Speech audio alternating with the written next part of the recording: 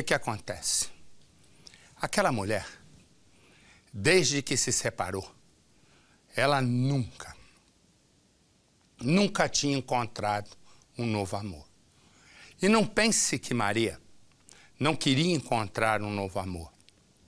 Ela estava aberta para um novo amor. Ela tinha sido casada com Jailson, com quem tem dois filhos. Os filhos, um já é um rapazinho de 15 anos, outro de 7. É aí que ela conhece Nando. Ela conhece Nando. Tem a Maria para me pôr aqui? Então, me ponha a primeira imagem, como eu sempre digo. Põe a primeira imagem da simulação, porque vai facilitar. E é isso que o raciocínio tem né, que ser feito aí em cima. E o que, que acontece? Ela. Ela não tinha ninguém. Foi nessa hora que ela conheceu Nando. Não demorou muito e Maria já estava morando junto com Nando. Ela queria mais tempo livre e ela deixava, que é lógico, os filhos com o ex-marido. Naquele dia, ela foi buscar os filhos e o ex-marido disse: Não, eu não me entrego. Ele tinha acabado de descobrir que o filho caçula foi abusado por Nando, o novo amor de Maria. Maria então volta para casa para tirar satisfações com Nando. Ele nega a história, nega e vai até a casa de Jailson. A partir daí, começa uma história, uma história extremamente, extremamente dolorosa, uma história em que Nando resolve acabar com o outro. Ele, Nando, está foragido de uma história que começa assim. Há quatro anos, Maria não sabe o que é amar um homem.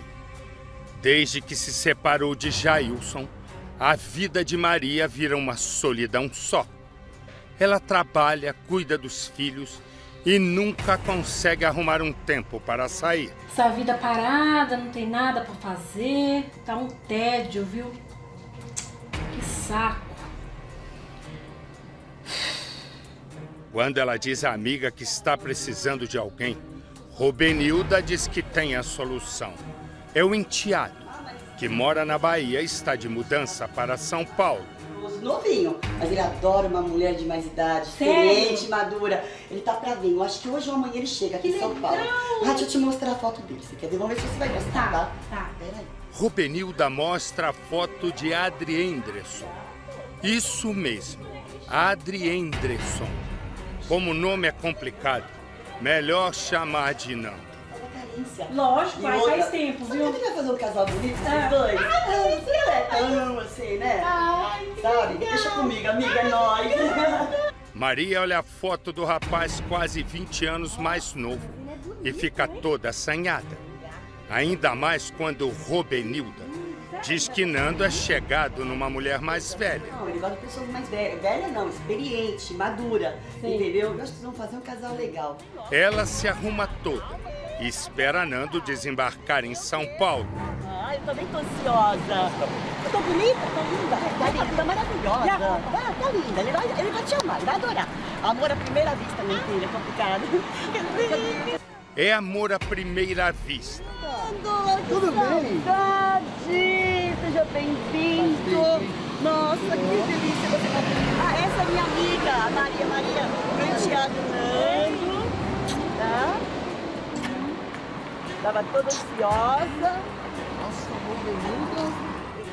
Ou melhor, amor, a primeira sapecada. Vai se dar muito. Com certeza, hein? Os dois não dão trégua. Essa pequeaiá o tempo todo. Que delícia.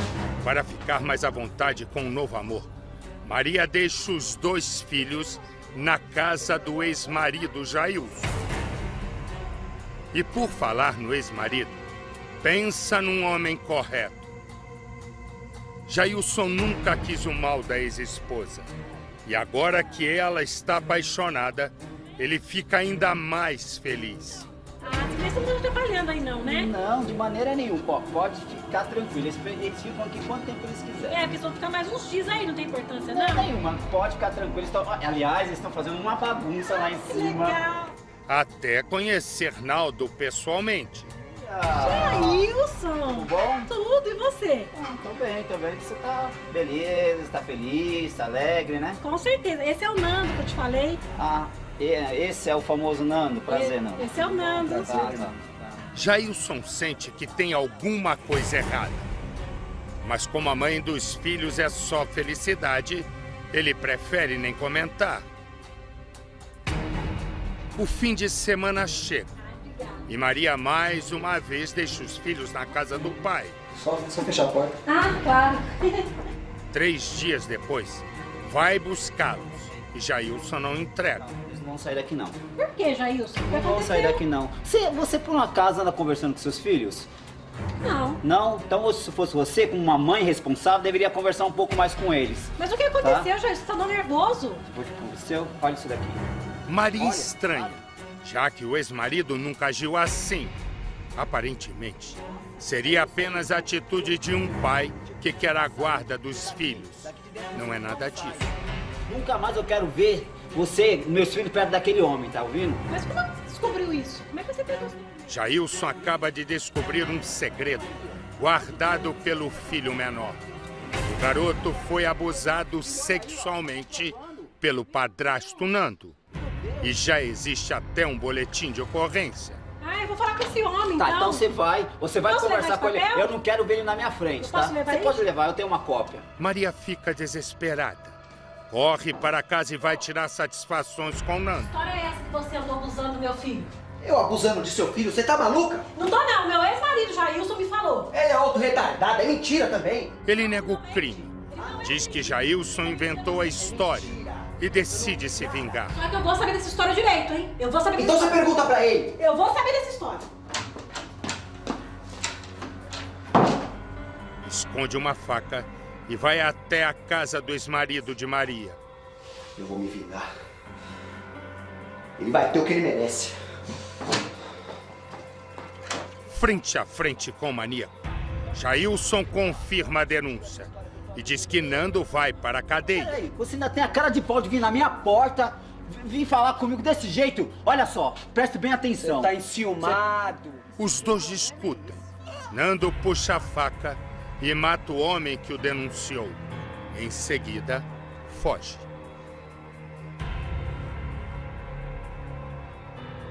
O alicerce desta mãe é o abraço dos filhos. Um garoto de 15 anos e o outro de 7. Essa dor é uma dor muito grande, uma dor assim profunda, profunda, do fundo do, do, do- do coração, assim, que só eu, só eu sei. Entendeu? Só eu sei, eles também. Eu sei que eles sentem também a falta do pai, porque é assim, uma coisa difícil, uma coisa muito difícil, porque não tem o pai, só tem a mim como pai e mãe para cuidar deles. Maria passou a conviver com os filhos na mais completa escuridão depois que o ex-marido e pai dos filhos dela foi assassinado pelo marido atual. Agora, eles se sentem abandonados, até mesmo pelas pessoas da própria família. Eles vivem numa espécie de abismo e não conseguem enxergar uma saída. Mãe e filhos acreditam que só poderiam tentar reconstruir a vida depois da prisão do assassino, Adri Anderson Souza da Silva, de 24 anos, mais conhecido como Nando, o responsável por ter tirado a vida do pai dos meninos, Jailson Passo Santos, de 41 anos. Nando matou Jailson. Motivo? Jailson suspeitava que Nando tivesse abusado do filho caçula e foi tirar satisfações com o pai dos meninos. A Maria presenciou toda a cena do crime e, infelizmente, as crianças também. O que, que você consegue contar pra gente dessa cena que você presenciou do crime? Eu presenciei, tipo, a, o pai dos meus filhos é, conversando com o assassino, que é o meu, era o meu atual marido, que eu convivia com ele, foi quando o, o Nando deu a facada no, no pai dos meus filhos. Maria foi casada com Jailson por 15 anos. Só que num determinado período da relação, o ciúmes dele ficou tão intenso que ela decidiu separar. Depois do rompimento, ela passou quatro anos sozinha, até que conheceu Nando e logo foram morar juntos. Casados, ele então passou a ter uma convivência que ela acreditava ser normal com os filhos dela. E Jailson, que era sempre um pai muito presente, continuava sendo assim na vida dos filhos. Até o dia que a Maria levou as crianças até a casa do pai para ir ao trabalho.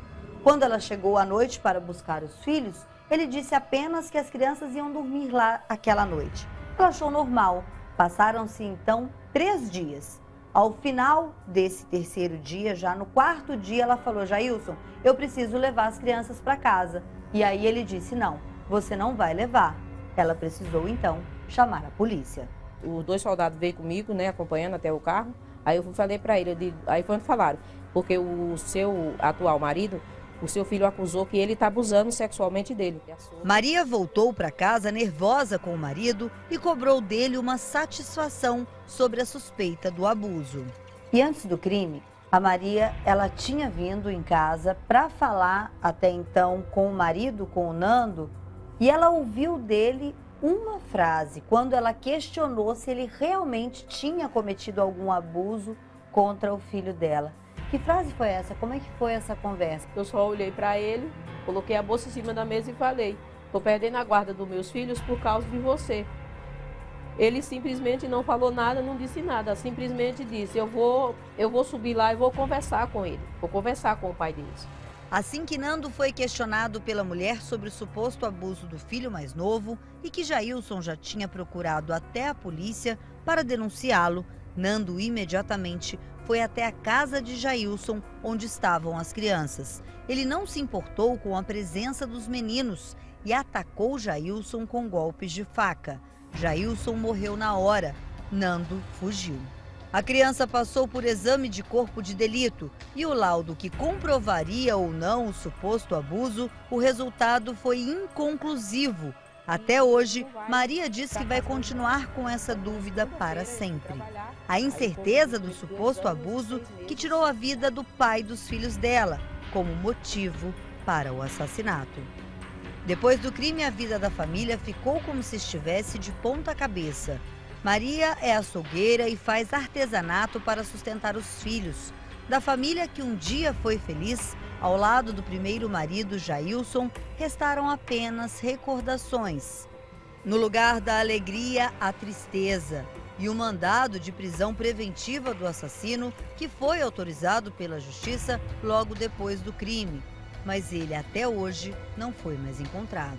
Se dependesse de mim, ele estaria preso desde o primeiro dia, porque é, foi uma traição muito grande, tanto para mim como para os meus filhos, porque ele cuidava muito bem deles, cuidava muito bem de mim. Eu nunca imaginei que isso poderia acontecer. E esta é a imagem do homem que está foragido. Se você viu esse homem, se você conhece esse homem, se você sabe onde ele está, ligue. Ligue para o Disque Denúncia. Ligue para a polícia. E a sua identidade vai ser mantida no mais absoluto sigilo. Conta para mim, meu filho. Eu vou direto com o nosso repórter sertanejo, nosso querido Rogério Guimarães, que ele tem informações sobre Nando, o foragido. Diga lá, Rogério, boa noite. Boa noite, Marcelo. Boa noite a todos. A polícia descobriu que o Nando fugiu para a Bahia, terra natal dele. Foi procurado por lá, Marcelo, mas conseguiu escapar de novo. Portanto, Adri Anderson, mais conhecido por Nando, continua foragido. E a Maria continua num abrigo com os filhos, sem o pai das crianças e sem marido, Marcelo. Como é o nome dele? Vamos lá. Adri Andresson. Fala três vezes seguida rápido. Tudo junto? Vamos? Adri Anderson, Adri Anderson, Adri Anderson. Três Boa, vezes, hein? Agora, Consegui. O, agora o peito do pé do Pedro é preto. Três vezes também. peito, do, pé do, do Pedro é preto. Não deu jeito? Então. É, isso- e- esse é mais difícil. É difícil. Então vai treinando que depois eu te chamo. Pra vai treinando. Obrigado, Rogério.